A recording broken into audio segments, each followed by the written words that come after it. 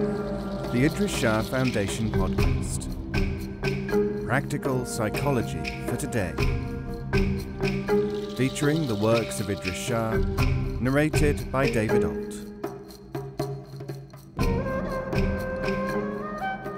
Welcome to the Idries Shah Foundation Podcast. In this edition of the podcast, we will hear selections from World Tales by Idries Shah. This audio is made available by the Idries Shah Foundation. Dick Whittington and His Cat.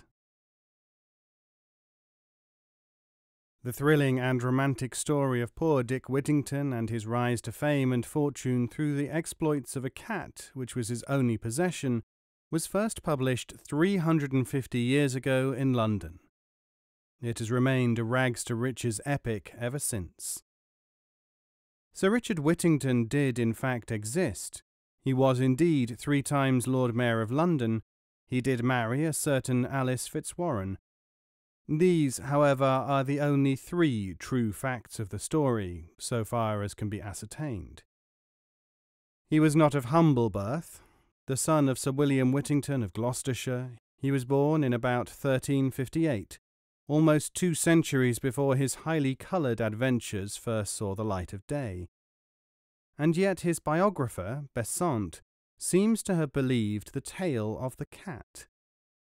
Research has shown that the tale was current in Europe in the century before Whittington's birth. It is to be found attributed to a merchant of Genoa and two citizens of Venice, not to mention its fame in Portugal, Norway, Denmark, Russia, and France. The earliest form is the legend of the foundation of the royal house of Qais, written by Abdullah, son of Fazlullah of Shiraz in Persia, sixty years before Dick Whittington's birth. He, in his turn, refers to the events of the 11th century. This enthralling grafting of a popular story onto a real life figure's history is supplied by the famous folklorist Andrew Lang in this version, from the ancient chapbook version of Gomme and Wheatley. Dick Whittington was a very little boy when his father and mother died, so little indeed that he never knew them, nor the place where he was born. He wandered about the country as ragged as a colt, till he met with a waggoner who was going to London, and who let him walk all the way by the side of his waggon without paying anything. This pleased little Whittington very much, as he wanted to see London badly, for he had heard that the streets were paved with gold, and he was willing to get a bushel of it. But how great was his disappointment, poor boy, when he saw the streets covered with dirt instead of gold, and found himself in a strange place, without a friend, without food, and without money. Though the waggoner was so charitable as to let him walk up by the side of the waggon for nothing, he took good care not to know him when they came to town, and the poor boy was, in a little time, so cold and hungry that he wished himself in a good kitchen and by a warm fire in the country. In this distress he asked charity of several people, and one of them bid him, Go and work, you idle rogue. That I will, said Whittington, with all my heart. I will work for you if you will let me. The man, who thought that this was wit and impertinence, though the poor lad intended only to show his readiness to work, gave him a blow with a stick which cut his head so that the blood ran down. In this situation, and fainting for want of food, he laid himself down at the door of one Mr. Fitzwarren, a merchant, where the cook saw him. Being an ill natured hussy, she said that if he did not go about his business, she would throw boiling water on him. At this time, Mr. Fitzwarren came home and also began to scold the poor boy, telling him to go to work. Whittington answered that he would be glad to work if anybody would employ him, and that he should be able if he could get some food to eat, for he had had nothing for three days, and he was a poor country boy, and knew nobody, and nobody would employ him. He then tried to get up, but he was so very weak that he fell down again. The merchant was sorry for him, and he ordered the servants to take him in and give him some meat and drink, and to let him help the cook to do any dirty work that she had to give him. People are too apt to accuse those who beg of being idle, but give themselves no concern to put them in the way of getting something to do, or considering whether they are able to do it, which is not charity.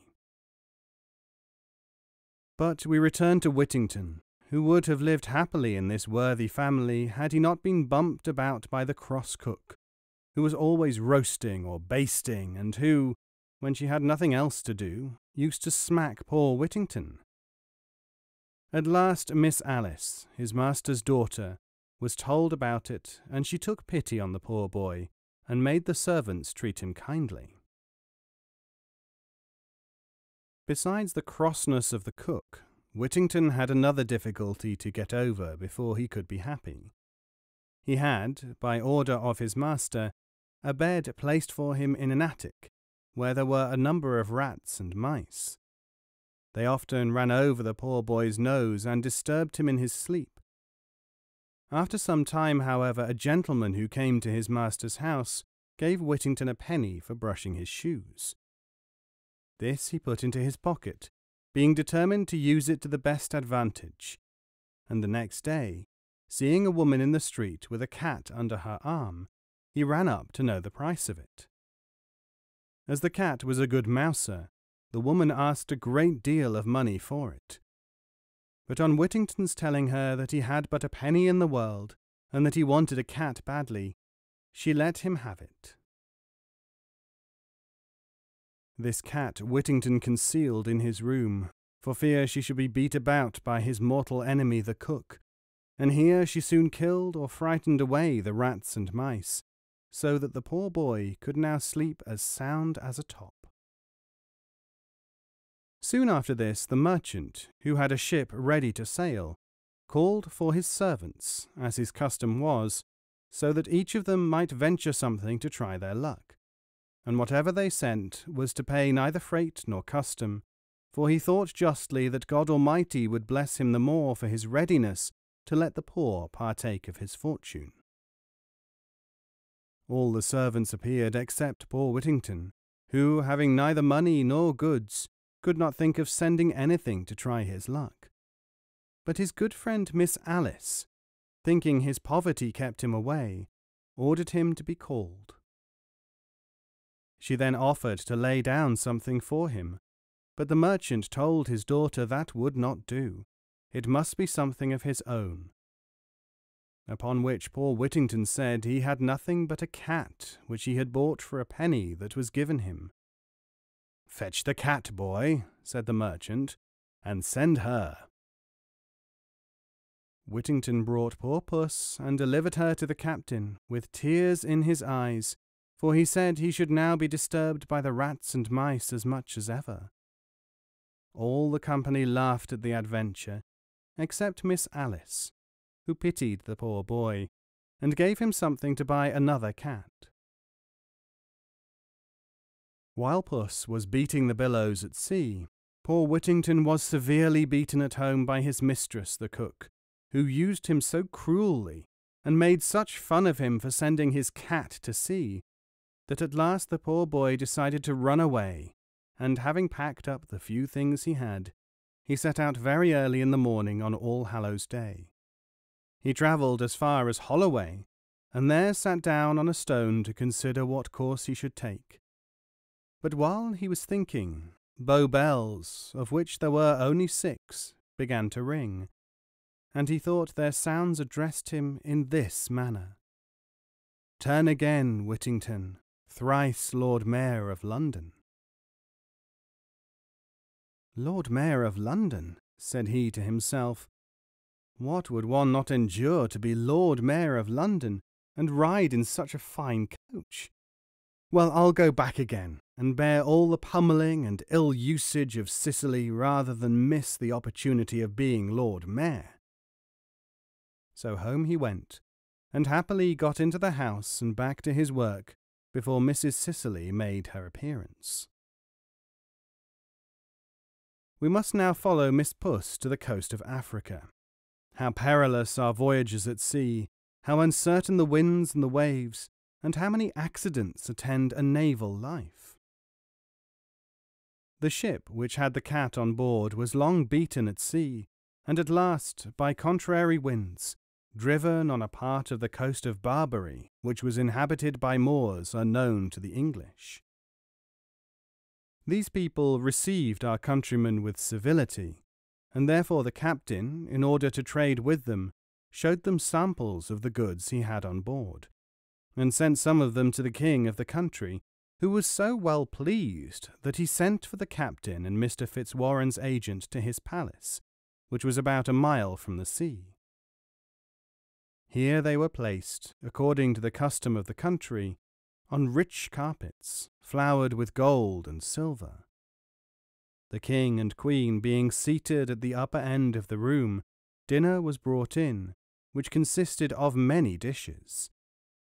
But no sooner were the dishes put down, but an amazing number of rats and mice came from all directions and gobbled up all the meat in an instant. The agent, in surprise, turned round to the nobles and asked if these vermin were not offensive. Oh, yes, said they, very offensive, and the king would not give half his treasure to be freed of them, for they not only destroy his dinner, as you see, but they attack him in his room, and even in bed, so that he is obliged to be watched while he is sleeping for fear of them. The agent jumped for joy. He remembered poor Whittington and his cat, and told the king that he had a creature on board ship that would get rid of all these vermin immediately. The king's heart heaved so high at the joy which this news gave him that his turban dropped off his head. Bring this creature to me, said he. Vermin are dreadful in a court, and if she will perform what you say, I will load your ship with gold and jewels in exchange for her. The agent, who knew his business, took this opportunity to set forth the merits of Miss Puss. He told His Majesty that it would be inconvenient to part with her, as when she was gone the rats and mice might destroy the goods in the ship. But to oblige His Majesty he would fetch her. Run, run, said the Queen. I am impatient to see the dear creature. Away flew the agent, while another dinner was provided, and returned with the cat just as the rats and mice were devouring that also. He immediately put down Miss Puss, who killed a great number of them. The king rejoiced greatly to see his old enemies destroyed by so small a creature, and the queen was highly pleased, and desired the cat might be brought near, that she might look at her. Upon which the factor called, Pussy, pussy, pussy, and she came to him. He then presented her to the queen, who started back, and was afraid to touch a creature who had made such a havoc among the rats and mice. However, when the man stroked the cat and called, Pussy, pussy, the queen also touched her and cried, Putty, putty, for she had not learnt English. He then put the cat down on the queen's lap, where she, purring, played with her majesty's hand and then sang herself to sleep. The king, having seen the exploits of Miss Puss, and being informed that her kittens would stock the whole country, bargained with the captain and factor for the whole ship's cargo, and then gave them ten times as much for the cat as all the rest amounted to. On which, taking leave of their majesties and other great personages at court, they sailed with a fair wind for England, whither we must now attend them. The morn had scarcely dawned when Mr. Fitzwarren arose to count over the cash and settle the business for that day. He had just entered the counting house and seated himself at the desk when somebody came tap tap at the door. Who's there? said Mr. Fitzwarren. A friend, answered the other. What friend can come at this unseasonable time? A real friend is never unseasonable, answered the other. I come to bring you good news of your ship Unicorn. The merchant bustled up in such a hurry that he forgot his gout, instantly opened the door, and who should be seen waiting but the captain and agent, with a cabinet of jewels and a bill of lading, for which the merchant lifted up his eyes and thanked heaven for sending him such a prosperous voyage. Then they told him the adventures of the cat, and showed him the cabinet of jewels which they had brought for Mr. Whittington. Upon which he cried out with great earnestness, but not in the most poetical manner, Go, send him in, and tell him of his fame, and call him Mr. Whittington by name. Mr. Fitzwarren was a good man, for when some who were present told him that this treasure was too much for such a poor boy as Whittington, he said, God forbid that I should deprive him of a penny. It is his own, and he shall have it to a farthing. He then ordered Mr. Whittington in, who was at this time cleaning the kitchen, and would have excused himself from going into the counting house, saying the room was swept and his shoes were dirty and full of hobnails. The merchant, however, made him come in, and ordered a chair to be set for him. Upon which, thinking that they intended to make fun of him, as had been too often the case in the kitchen, he begged his master not to mock a poor simple fellow who intended no harm, but let him go about his business. The merchant, taking him by the hand, said, Indeed, Mr. Whittington, I sent for you to congratulate you on your great success. Your cat has made you more money than I am worth in the world, and may you long enjoy it and be happy. At length, being shown the treasure, and convinced by then that all of it belonged to him, he fell upon his knees and thanked the Almighty for his providential care of such a poor and miserable creature. He then laid all the treasure at his master's feet, who refused to take any part of it, but told him he hoped the wealth would be a comfort to him and would make him happy. He then applied to his mistress and to his good friend Miss Alice, who refused to take any part of the money, but told him she heartily rejoiced at his good success, and wished him all imaginable happiness. He then gave presents to the captain, the agent, and the ship's crew for the care they had taken of his cargo, he likewise distributed presents to all the servants of the house, not forgetting even his old enemy the cook, though she little deserved it. After this, Mr. Fitzwarren advised Mr. Whittington to send for the necessary people and dress himself like a gentleman, and made him the offer of his house to live in till he could provide himself with one better. Now it came to pass, when Mr. Whittington's face was washed, his hair curled, and he was dressed in a rich suit of clothes, that he turned out to be a genteel young fellow, and as wealth contributes much to give a man confidence, he in a little time dropped that sheepish behaviour which was mainly caused by a depression of spirits, and soon grew a sprightly and good companion, and Miss Alice, who had formerly pitied him, now fell in love with him. When her father saw that they had this liking for each other, he suggested that they should marry. The Lord Mayor, Court of Aldermen, sheriffs, the Company of Stationers, the Royal Academy of Arts, and a number of eminent merchants attended the ceremony, and were elegantly treated at an entertainment made for that purpose. History further relates that they lived very happily, had several children, and died at a good old age. Mr. Whittington served Sheriff of London and was three times Lord Mayor. In the last year of his mayoralty, he entertained King Henry V and his Queen after his conquest of France, upon which occasion the King, in consideration of Whittington's merit, said, Never had a prince such a subject. Which being told to Whittington at the table, he replied, Never had a subject such a king. His Majesty, out of respect to his good character, conferred the honour of knighthood on him soon after. Sir Richard, many years before his death, constantly fed a great number of poor citizens, built a church and a college to it, with a yearly allowance for poor scholars, and near it erected a hospital. He also built Newgate Prison and gave liberally to St. Bartholomew's Hospital and other public charities.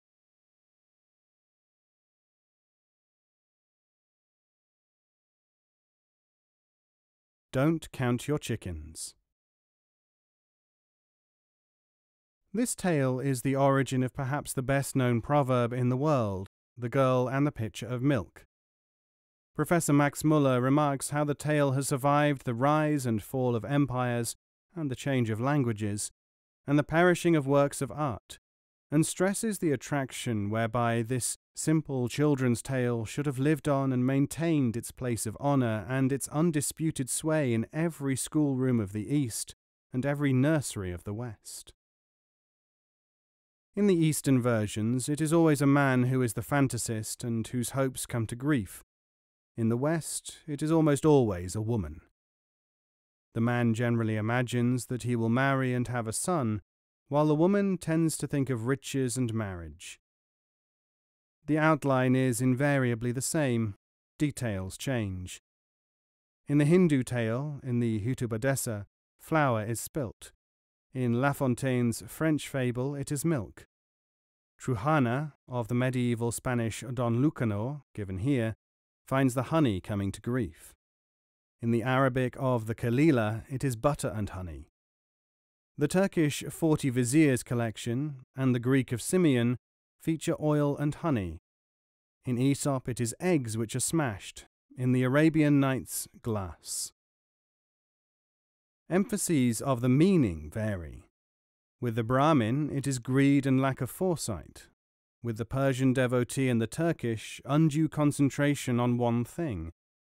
In the Arabian Kalila and elsewhere, there is a hint that violent action is one's undoing. Rabelais, in his Gargantua, attributes this folly to a shoemaker who struck a pot of milk in his excitement at becoming rich in fantasy, destroying that which may lead to success by the thought of that success itself.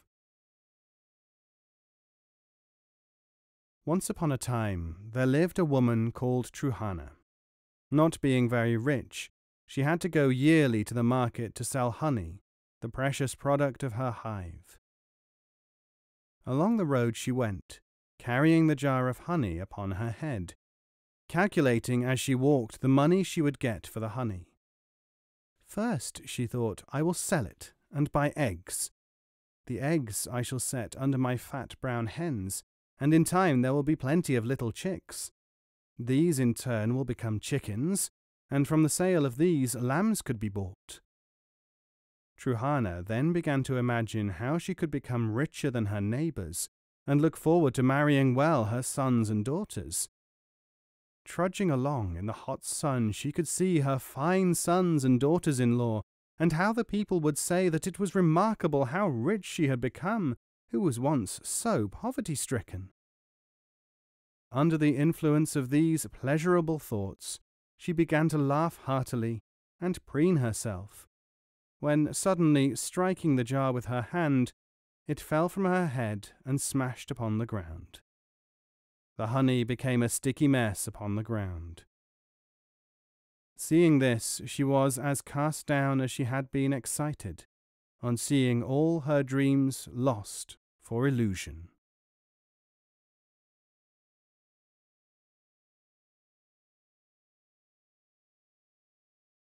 The Hawk and the Nightingale.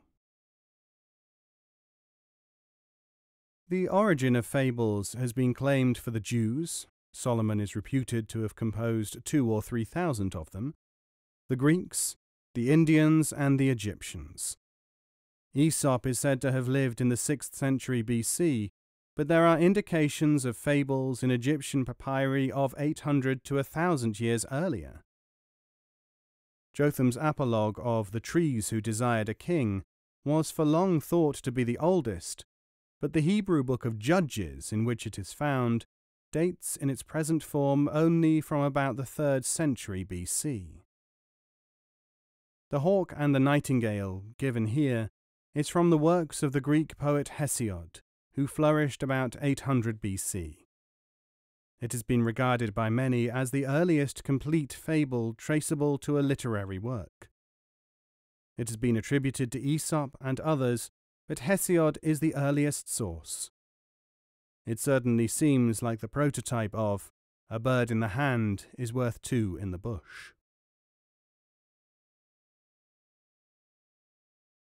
A nightingale was sitting alone among the shady branches of an oak tree.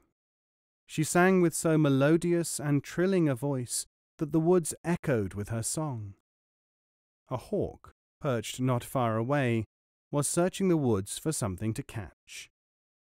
No sooner had he found the tiny songster than he swooped, caught her in his talons, and told her to prepare for death. Oh, said she, do not do anything so barbarous and so unbecoming as to kill me.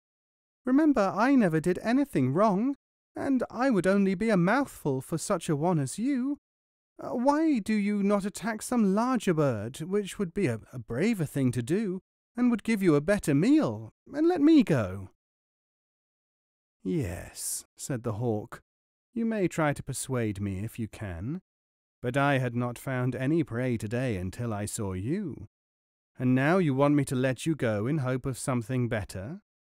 But if I did, who would be the fool?